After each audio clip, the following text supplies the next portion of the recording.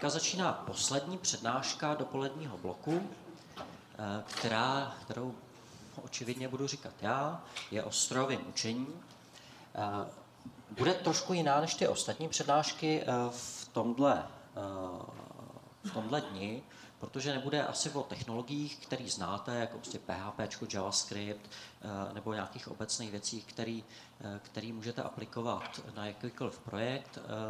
Bude to předpokládám pro většinu z vás něco nového, třeba něco, s čím jste se doteďka nesetkali.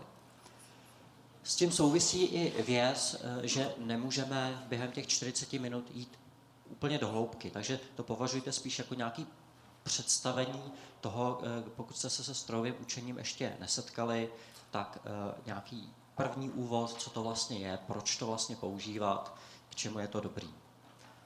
Eh, ti z vás, kteří strojový učení už třeba měli nějaký semestr na vejšce, tak samozřejmě se budou nudit, za to se omlouvám. Eh, o čem vlastně budu povídat? Eh, ta moje přednáška bude mít čtyři základní části. V té první vůbec vysvětlím, proč o strojovém učení uvažovat, na jakých projektech se dá použít, na jakých projektech ho už jiné firmy používají úspěšně. A čemu je to dobrý. V druhé části řeknu, co je vlastně obecný všem nebo naprosté většině těch algoritmů strojového učení. Jaký jsou společní znaky. A ty poslední dvě části, to už se budu věnovat konkrétním uh, algoritmům, který můžete pro strojové učení použít, konkrétně neuronovým sítím a rozhodovacím stromům. Takový klasický problémy, se který, který asi znáte nebo který, se, který si představíte, když se řekne strojový učení nebo umělá inteligence, jsou tyhle ty rozpoznávání, rozpoznávání obrazu, rozpoznávání řeči, eh, který se dá, eh, eh, který znáte prostě z OCR, případně kdo máte Apple, tak Siri má rozpoznávání řeči, kdo máte Android, Google Voice Search, což jsou velmi zajímavý, velmi komplikovaný problémy, nad kterými se pracuje poslední desítky let a v podstatě teďka v posledních letech se teprve dostávají do, do praxe a do běžného denního používání. Věci, na které teprve budeme, budeme čekat, jsou různý auta, které se sami řídějí, případně nějaký jiný autonomní systémy, které odpovídají řídě, nějaký roboti, kteří se chovají uh, autonomně. O tom ta moje přednáška zase tak nebude, ale stejně jsem to zmínil jako v podstatě za tu nejdůležitější nebo nej, eh, nejviditelnější aplikaci strojového učení. Ale o čem ta moje přednáška už bude, je, jak se to používá na webu. Teďka vám ukážu několik různých uh, příkladů, které všichni znáte. Jsou to služby, které používáte uh, denně nebo aspoň hodně často. A Někteří asi víte, že tam je strojový učení pod tím, pro někoho to bude třeba novinka. Co novinka určitě není, je třeba Seznam.cz, který eh, tady přednášel před půl rokem na první Devel.cz konferenci, kde Dušan Janovský poměrně důkladně popisoval, eh, jak používají strojové učení na full text. Když tak máme to na Devel.cz i ze záznamu eh, prohlédnutelný, takže koho to zajímá, ten si to může podívat do detailu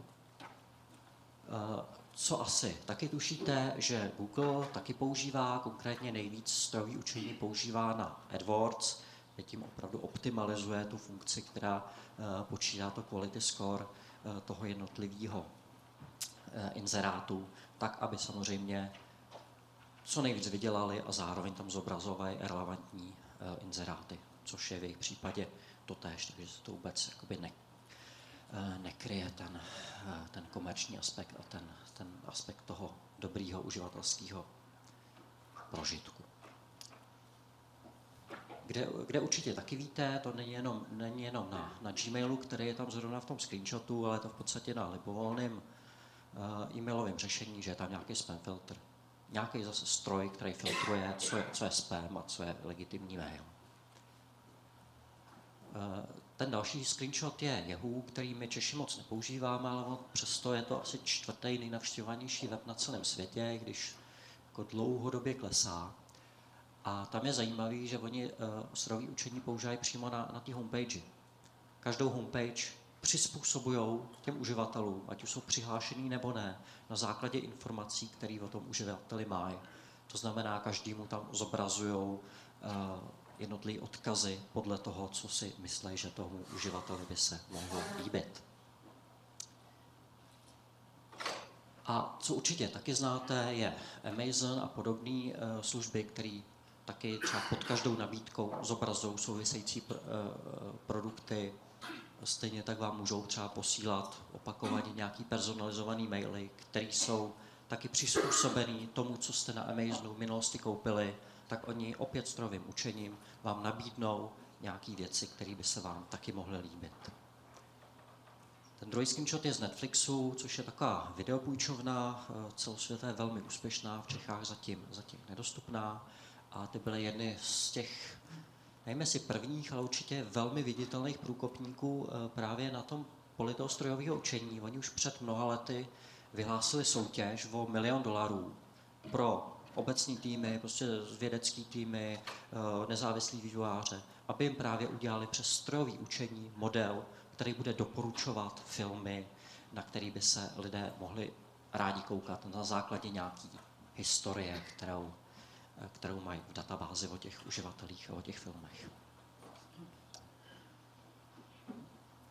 Jak bylo vidět, tak v podstatě skoro všechny, no, snad i bez nasázky, všechny, třeba z té top, top desítky velkých zahraničních firm nějaký strojový učení používají.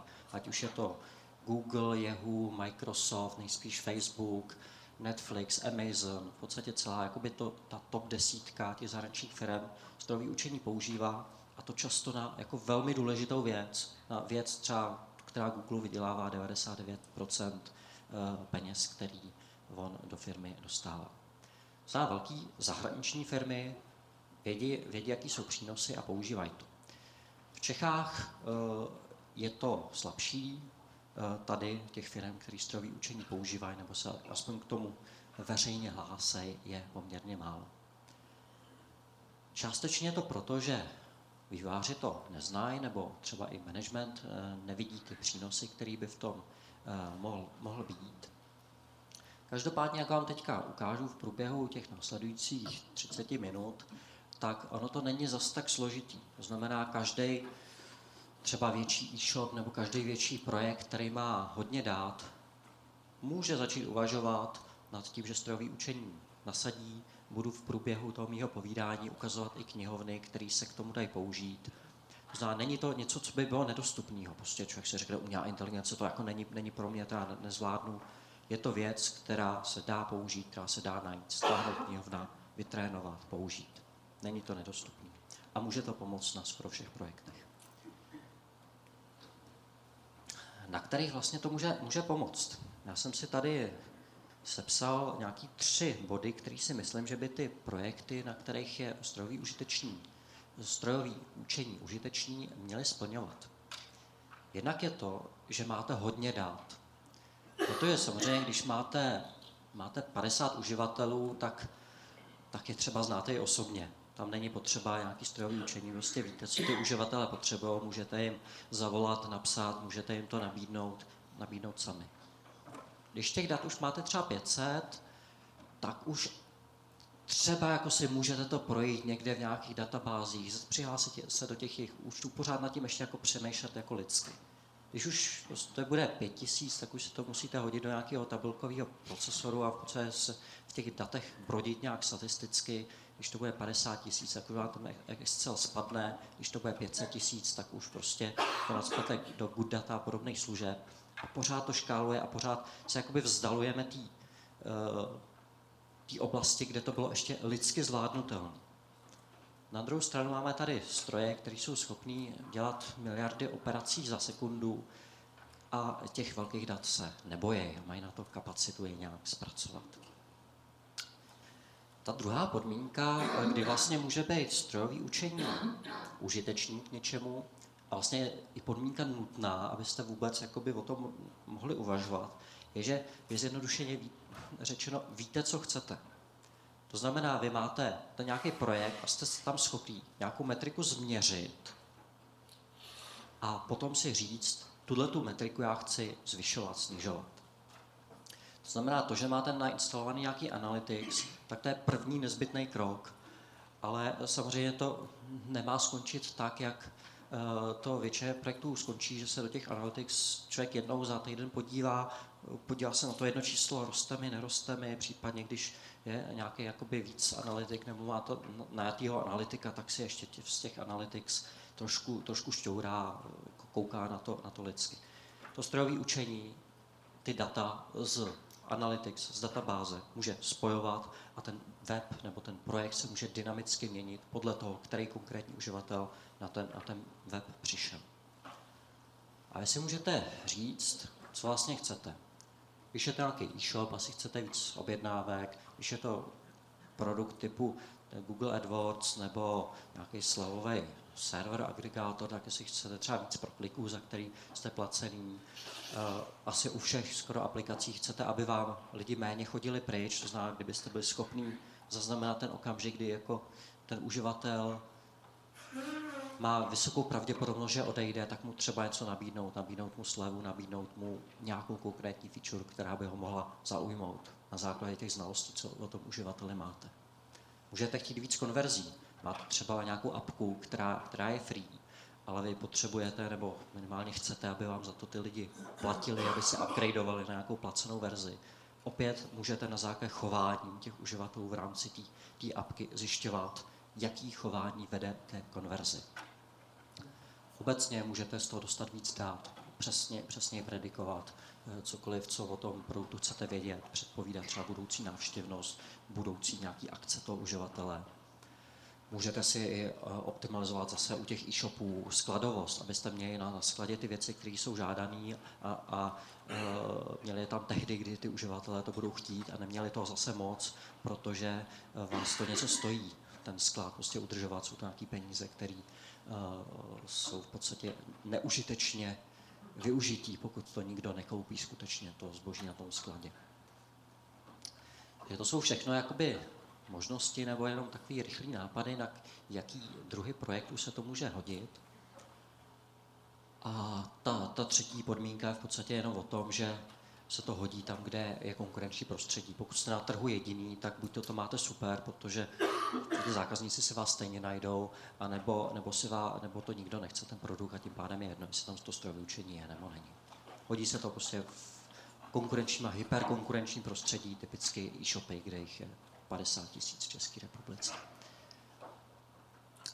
Tak, teďka už přejdu eh, k tomu, od toho povídání, k čemu a na jaký projekty a na jaký účely se to strojové učení může hodit, k tomu, jak to vlastně funguje. Maličký kousek teorie, strojové učení, machine learning, je součást umělé inteligence. Umělá inteligence, prostě veliký, veliký pojem strojové učení je jedna jeho oblast a v rámci toho strojového učení je takzvaný supervidovaný strojový učení, nebo česky se to taky překládá jako e, učení s učitelem a to popíšu, popíšu dál, co to vlastně znamená. A právě o tom, o tom supervidovaném já budu povídat uh, po ten zbytek přednášky. To supervidované učení je zároveň ta nejčastější a nejvýznamnější použití strojového učení. Strojové učení může dělat podstatě dvě relativně jednoduché věci. Může předpovídat nějaký číslo, zase si můžete představit třeba ty, ty AdWords, kde to chcete předpovídat nějakou kvalitu toho inzerátu, míru prokliku toho inzerátu. Uh, nebo si můžete představit hodnocení filmu, jako to děláte Netflix. A pod tím si nepředstavujeme konkrétní hodnocení, jako eh, tenhle ten film je špatný nebo dobrý že si představme personalizovaný hodnocení pro konkrétního člověka. To znamená, jak se Františkovi bude líbit nespoutaný Django. Protože to je, to je důležitý. Lidi mají různé preference a chcete tu aplikaci přizpůsobit každým uživateli na míru, protože vám to pomůže s objednávkama, retencí toho uživatele, spokojeností toho uživatele. Druhá věc, eh, kterou to strojové učení může dělat, že třídí ty věcičky, co do ní házíte, na nějaký, do nějakých kategorií. Uh, zase nejtypičtější příklad je ten spam filter v nějakém e-mailu, kde legitimní a spamový maily hází do různých folderů.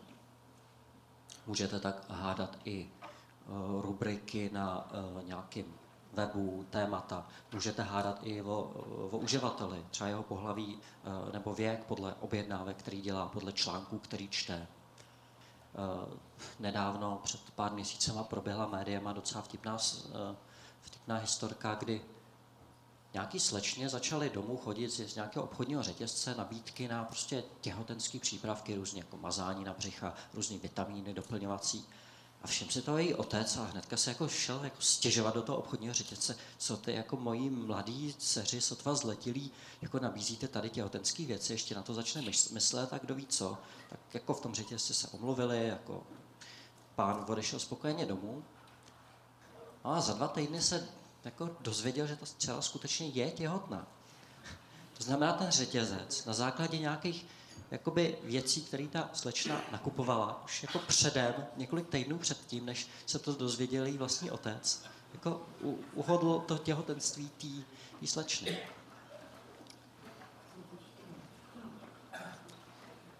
Takovéhle věci se budou stávat furt, dokonce uh, firmy dost často strojové učení mají zapojený a schválně mezi ty těhotenské věci přidají sekačku a tak, aby uh, tak možná do režie, jestli může být, můžu být hlasitějíc někomu na Twitteru, Patrikovi Votočkovi, to, to vadí. A, tak, e, že občas přidají do těch slových nabídek klidně sekačku něco nesouvisející a dávají to tam úmyslně, aby se ty lidi nevyděsili. Protože ty lidi se občas jako vyděsejí, že ten jako obchodní řetězec o nich ví víc, než vlastně oni čekali.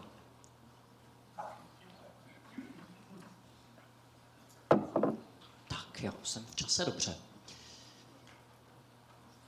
A zase důležitý princip, který se bude týkat obou, obou těch algoritmů a mnohých dalších, o kterých, eh, o kterých ani nebudu mluvit. Musíte mít nějaký data a u těch dat vy musíte vědět, jaká je ta takzvaná správná odpověď. To znamená, musíte mít nějaký, pokud chcete třeba hledat ty objednávky v tom e-shopu, tak musíte mít nějaký data, ve kterých jsou ty objednávky. Vy musíte být schopný ty data rozdělit na dvě hromádky, minimálně na dvě, občas se používají i tři. Jedna z nich je trénovací. A to je ta část dat, ze který se to strojové učení takzvaně učí. A učení neznamená nic jiného, než že hledá nějaký vztahy v rámci těch, mm, těch dat, který mu dáte. A na základě těch vztahů si ono, to učení, už vymyslí, jaký vlastně podmínky musí být v těch datech splněný, aby se stalo to, co vy, se, vy chcete, aby se stalo. Aby byla objednávka, aby byl proklik, aby bylo uh, věc potřeba mít na skladě, aby film se tomu uživateli líbil. Toto strojové učení vezme z těch dat na základě minulosti. Na základě minulosti, kde víte, že se ta objednávka, proklik a tak dále stala. A potom tu druhou hromádku použijete na to, abyste vůbec ověřili, že ten váš model funguje. A i v té druhé hromádce u těch testovacích dat tam taky musíte vědět tu správnou odpověď. To znamená, obě tyhle ty hromádky se berou z minulých dát. Rozdíl akorát v tom, že tu první hromádku tomu učení dáte, včetně těch správných odpovědí, to strojové učení se na tom naučí ty správné odpovědi, ty vztahy, které k ní vedou, a u, toho test, té testovací hromádky tomu strojovému učení jako zatajíte tu správnou odpověď. A zjišťujete nějakou přesností, třeba v procentech, jestli to strojové učení na tu správnou odpověď přišlo. A tohle je strašně důležitý princip. Bude se týkat neuronových sítí, i těch rozhodovacích stromů, je SVMK, skoro všech uh, uh, strojových učení s učitelem. A právě to s učitelem znamená přesně tohle že máme nějaké učitele, který ví tu správnou odpověď na začátku, na základě minulých dat.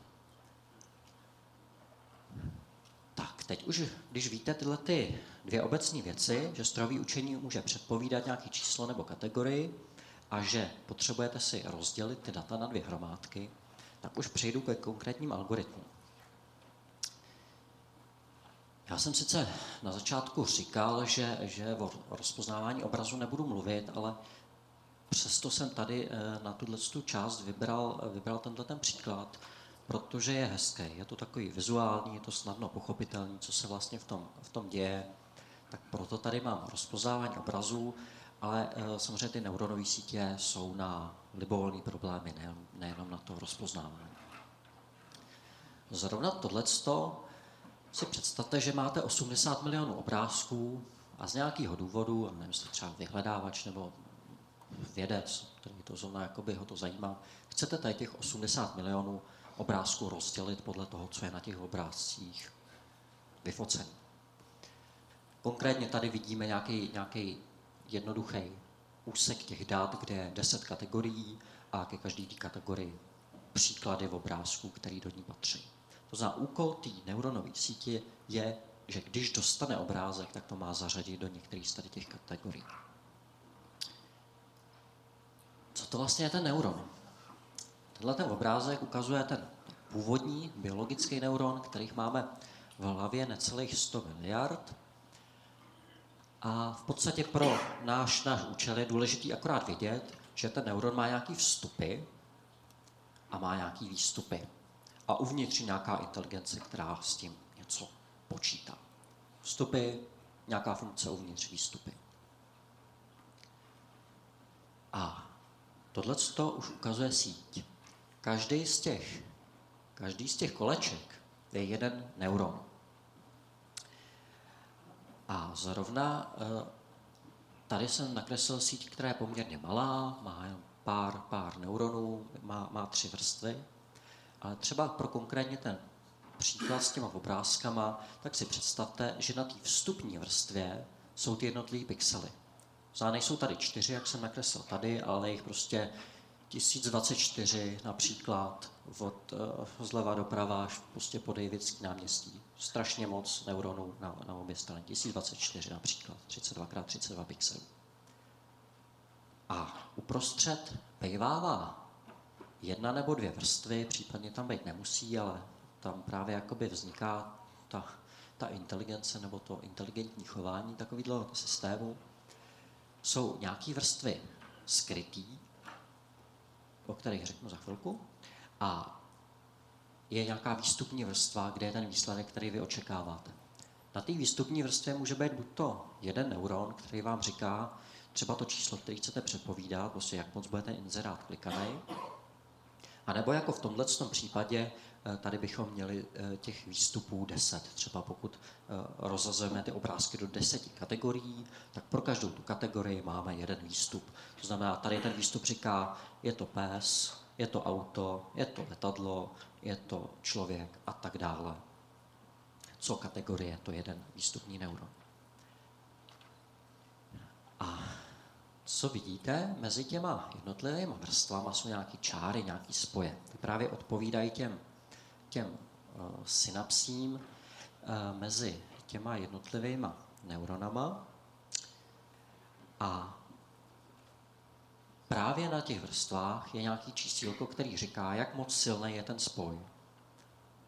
To znamená, ten proces toho učení je v podstatě jenom přiřazování nějakých čísíl, čísílek těm jednotlivým spojům. A to číslo může být buď to třeba kladné číslo, ty spoje souvisejí, nula nesouvisejí vůbec, minus jedna souvisejí záporně. A celé to učení probíhá tak, že vy do toho vhodíte ten obrázek. To znamená, tady do té první řádky dáte těch tisíc pixelů toho, toho obrázku a potom se nějakou funkcí, která je poměrně jednoduchá, v podstatě je to zjednodušeně řečeno vážený součet těch, těch věcí, co jsou propojený těma, těma hranama. Ty čísla dostanete dolů. Tohle to vypočítáte z této vrstvy, tohle to vypočítáte z této vrstvy. A vzhledem k tomu, že vy víte na těch trénovacích datech, co je ta správná odpověď, že teďka mu dáváte obrázek koně, tak jste schopni si říct, hele, tady ta neuronová síť na začátku ona byla uh, nastavená úplně náhodně, takže říká úplný smysly. A vy, schop, vy víte, co, že má říct, je to auto. A ona řekla, není to auto, nebo je to auto s malou pravděpodobností. Vy tuhle tu chybu vidíte, protože znáte tu správnou odpověď, a jste schopný trošku pošoupnout ty váhy tím směrem, aby tam ta chyba nenastávala. Prostě víte, máme to tady odpověď 1, odpovědělo to 0,1, tak já si řeknu, musím to zvýšit. Všema těma směrama vyšlete signál, trošku upravíte tu, tu eh, váhu těch jednotlivých, uh, jednotlivých hran, tak, aby vám příště, když dostanete samý data, uh, vrátili víc. A tohle to děláte furt. Nacpete tam všech těch 80 milionů obrázků, no. prostě všechny, který máte, máte označkovaný. A furt takhle upravujete ty váhy. A poté, co to uděláte jednou, tam nacpete těch 80 milionů obrázků, tak to uděláte znova. A znova a znova a znova a znova. Takhle třeba stovky nebo tisíce iterací, generací tohohle z toho procesu, že upravujete váhy. Což vypadá, že je strašně neefektivní, ale počítače jsou rychlí, takže nám to zase tak moc nevadí, prostě se to dělá. Máte velkou, velkou síť s mnoha neurony, když vám na to nestačí jeden počítač, dáte to do, nějaký, do nějakého cloudu, který, který to paralelizuje. Je to neefektivní, ale funguje to v praxi velmi dobře.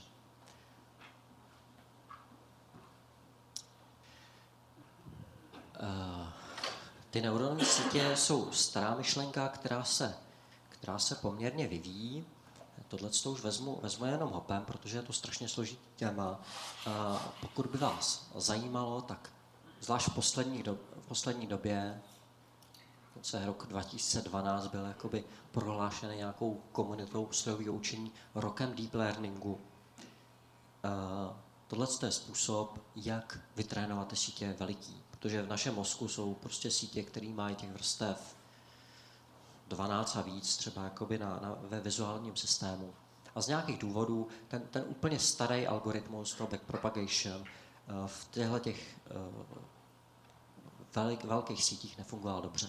A teprve v posledních letech, řekněme posledních deseti letech, existují způsoby, jak ty sítě dělat fakt obrovský a přitom, uh, aby to mělo smysl aby i ta velká síť se naučila ty data zpracovávat dobře.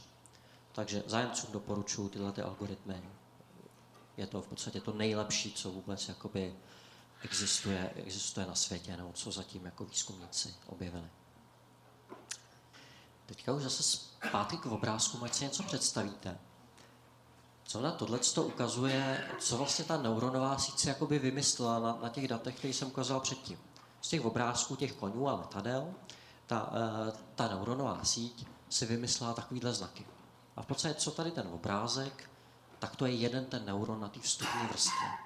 To znamená, vidíme tam, že prostě nějaký, nějaký neuron se specializoval na to, že detekuje horizontální čáry, nějaký se specializuje na to, že detekuje vertikální čáry, jiný detekuje fialové fleky, jiný detekuje zelené fleky a tak dál. A je docela důležité vědět, že tohle to tam nezadal vývojář. Že to není tak, že vývojář by si řekl, já chci 20. neuron, aby mi odpovídal kladně na zelenou barvu. Ne, tohle to vzniklo samo uvnitř té strojové sítě, uh, strojové učení, uh, neuronové sítě, tak, aby uh, to mělo pro tu neuronovou síť největší informační hodnotu.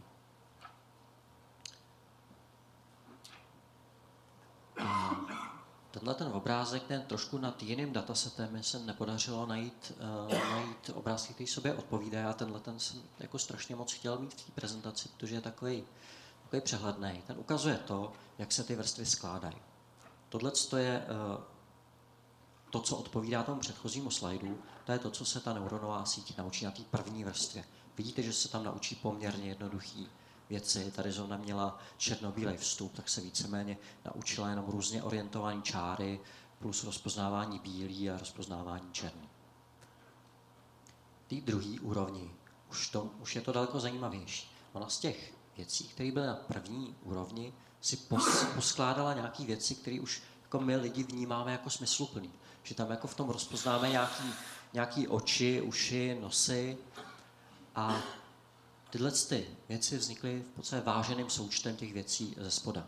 znamená, když třeba vidíme tady, eh, tak to vzniklo asi jako vážený součet, třeba, nevím, třeba ta čára vypadá trošku podobně, plus eh, půlka nějakého jiného neuronu, plus 0,3 nějakého neuronu. Prostě to, jak jsem říkal předtím na tom, na, tý, na tom obrázku té neuronové sítě, ta neuronová síť v podstatě dělá vážený součty těch jednotlivých věcí.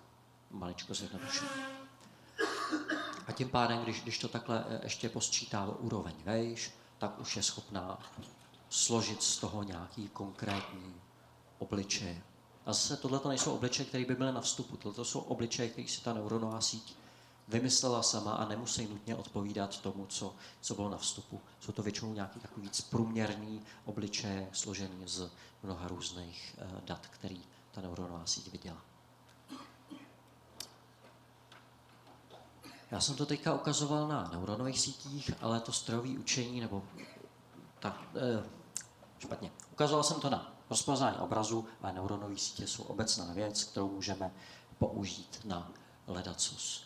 Jediná věc, že na vstupu jsou nějaké čísla a vy samozřejmě můžete libovolný data pře, přeložit na čísla a na výstupu jsou zase nějaké čísla, které mají nějaký, nějaký význam. Třeba je to ta predikce, nebo je to několik těch výstupů podle jednotlivých kategorií. Eh, tady už jsou eh, nějaké knihovny, které se na to dají použít.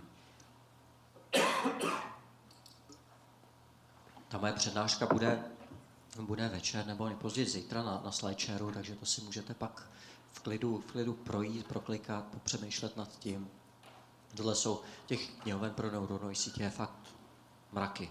Tohle jsou zrovna tři, kterými přijdou velmi dobrý tím, že jsou jak univerzální, tak i prostě mají, mají tam třeba ty deep learning aspekty, jako třeba ta poslední, poslední z těch jmenovaných. Tak a teďka, teďka už poslední eh, části té prezentace, mám myslím, že sedm minut, vám ještě řeknu něco o rozhodovacích stromech, případně lesech.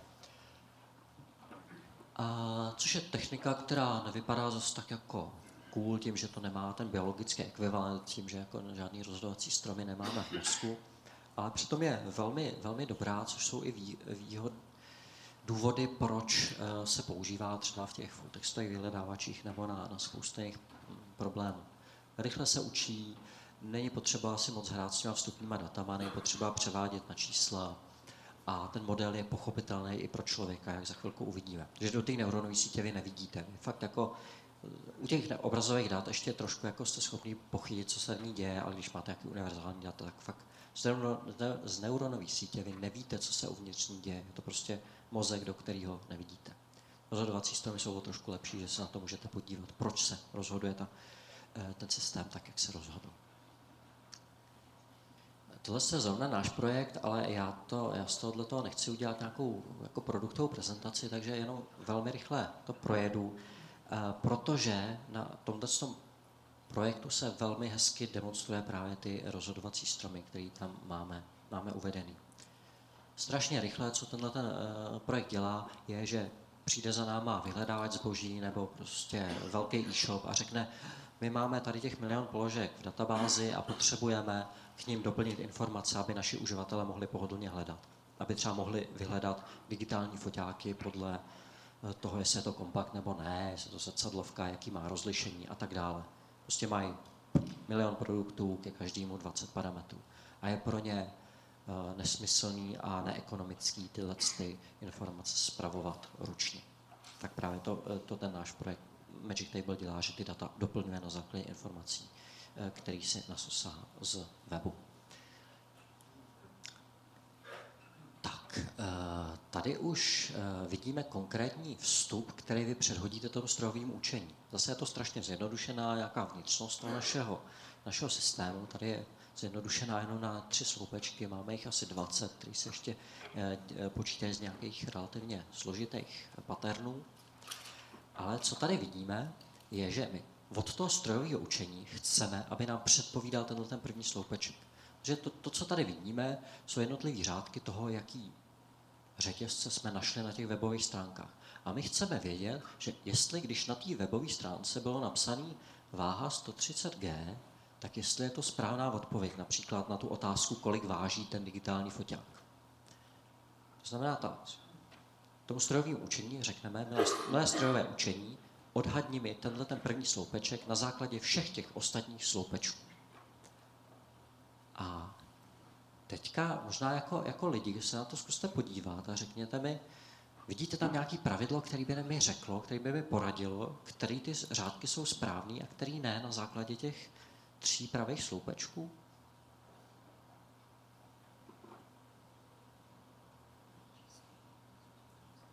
Napadá někoho nějaký pravidlo? Když je tam něco, tak to asi bude správně, nebo když je tam něco, tak to spíš bude špatně?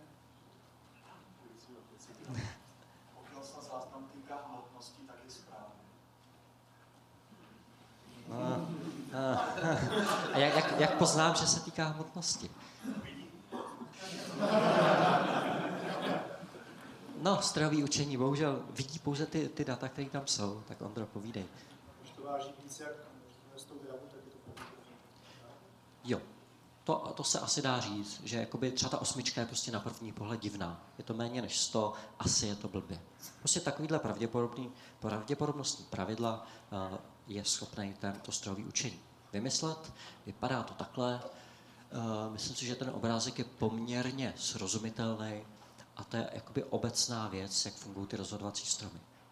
Jako vývářů vám to nemusím vysvětlovat, prostě milionkrát jste napsali nějaký if, podmínka, něco, else, něco rozhodovací strom není nic jiného.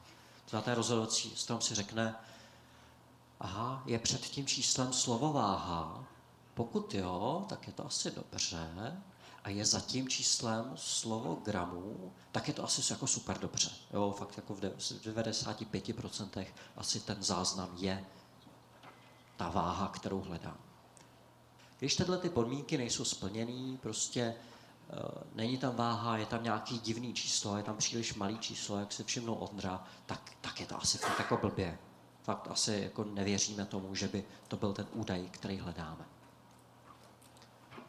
Tyhle ty rozhodovací stromy můžou být veliký, můžete si představit, že ten rozhodovací strom má 10 úrovní, je v, nich, je v něm 100 nějakých podmínek, ale většinou eh, se to tak nedělá, většinou se používají třeba takhle velký stromy, ale udělá se s nima to, že tyhle ty stromy se složí z nějakých lesů. Les není nic jiného, než že těch stromů máte hodně. Máte jich třeba 100, případně třeba tisíc, jako nějaký jako hodně složitý, složitý problémy. A vy ty, ty stromy generujete tak, aby oni posuzovali různé vlastnosti těch dát. Podle různých těch parametrů si poskládáte různé stromečky. A potom, když jich máte 100, tak prostě do nich narvete ty data a ty výsledky, ty predikce těch jednotlivých stromů prostě zprůměrujete a mělo by to dávat lepší výsledky než ten jeden jediný strom. A pak je ještě takový jenom malý trik, že když vy víte, že na nějakých datech vám ty stromy odpovídají blbě, tak, eh, tak ty data můžete brát s nějakou větší váhou pro generování těch příštích stromů. A to je jenom takový jako drobný trik, který v praxi pomáhá hodně. Tak, už jsem v podstatě na konci. Uh, u těch rozhodovacích stromů je fajn, že oni uh, si nemusím tolik hlídat uh, ty vstupy, podobně jako u těch neuronových sítích. U těch neuronových sítích to musím vložit normalizovat, aby to byly čísla ideálně třeba 0 až 1. Těm rozhodovacím stromům je to jedno, že viděli jste tam v té ukázce, že ta rozhodovací strom pracoval třeba přímo s těma textama, který, který tam v těch sloupečcích byly. Ty rozhodovací stromy mají zjednodušeně řečeno na většinu úloh podobnou přesnost jako ty neuronové sítě, jako ty jednoduchý.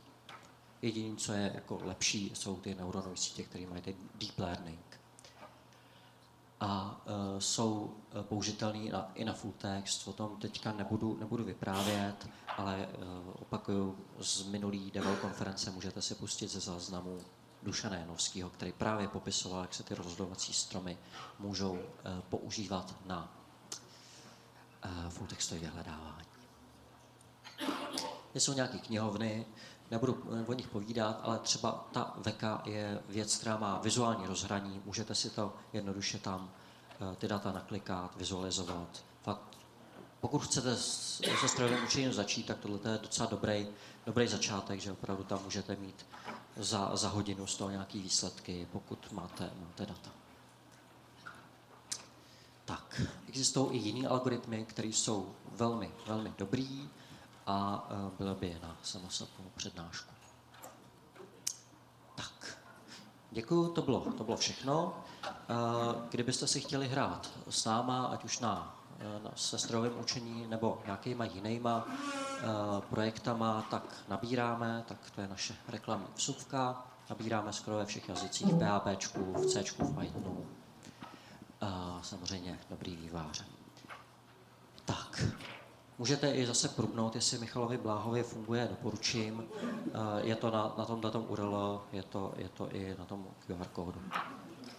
Tak, to je všechno. Máme, máme, myslím si, že, nevím, máme tři minuty na, na otázky, pak bude oběd. Tamhle jedna otázka.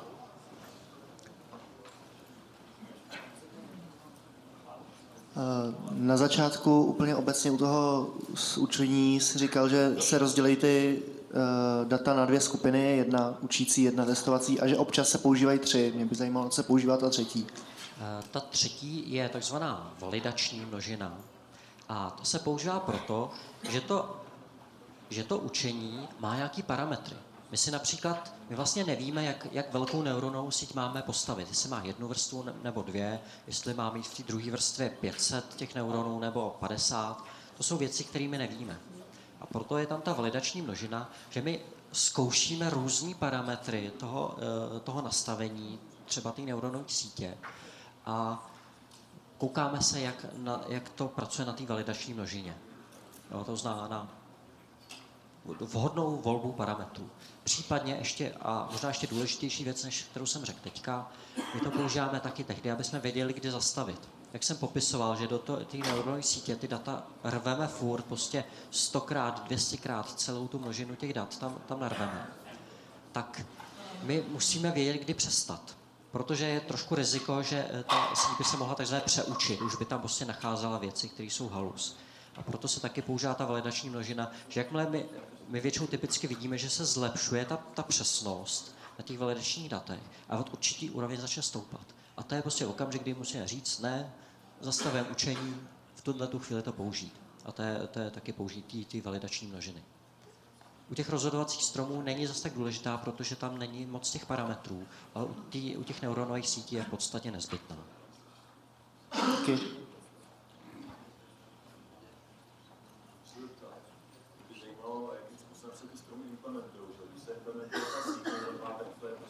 součin matic. Uh-huh. Jo, tak jestli nějak podobně se dají implementovat ty rozhodovací stromy.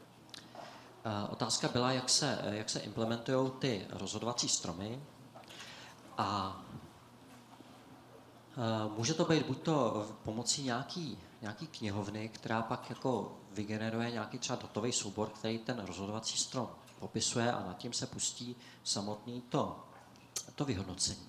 A nebo pokud chce mít člověk ty výsledky hodně rychlý, tak se to přímo jakoby překompiluje do třeba do C, že vyloženě jakoby z toho strojového učení vypadne kód if uh, before je váha, den uh, vrať 0,95.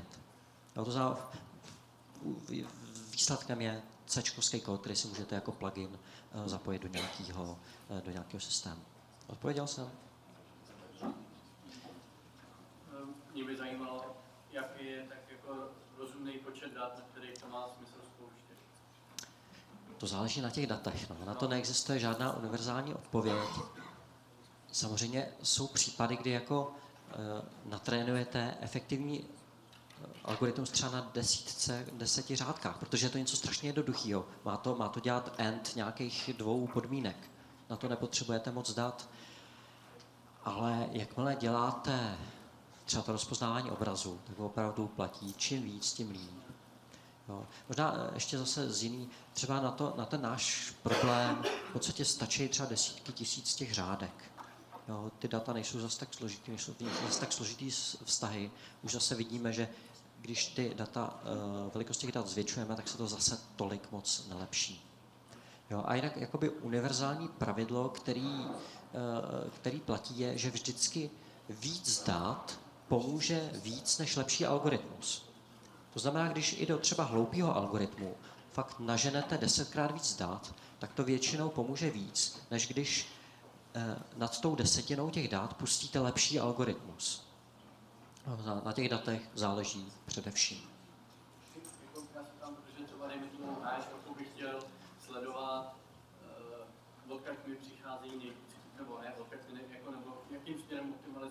nebo třeba.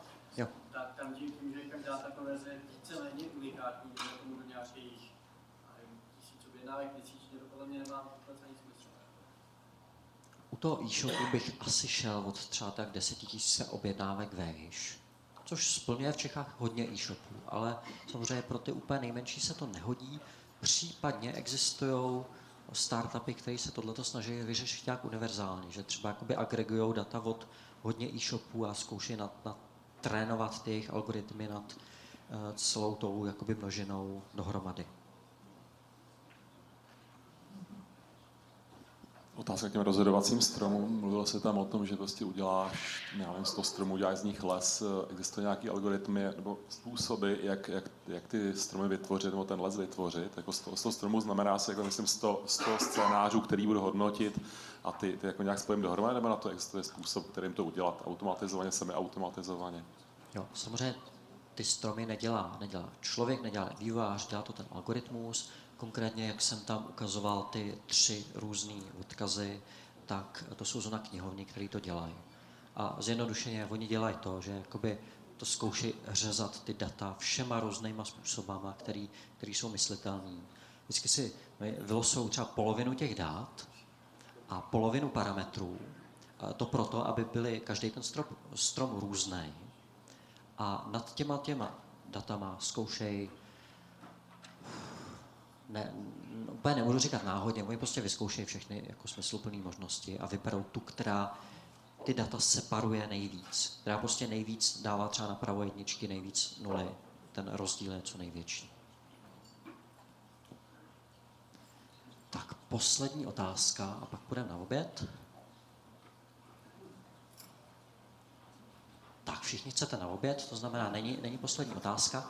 Uh, připomínám, že v oběd je všude možně v restauracích, které jsou okolo. Menza je v sobotu zavřena. Znamená, teďka řešíme optimalizační úlohu, jak se rozprostřít v 260 lidech do restaurací, které mají kapacitu 30-40 lidí. Znamená, zvažte, když dojdete dál, asi tam bude mít lidí, zase budete mít méně času. Optimalizujte. Díky.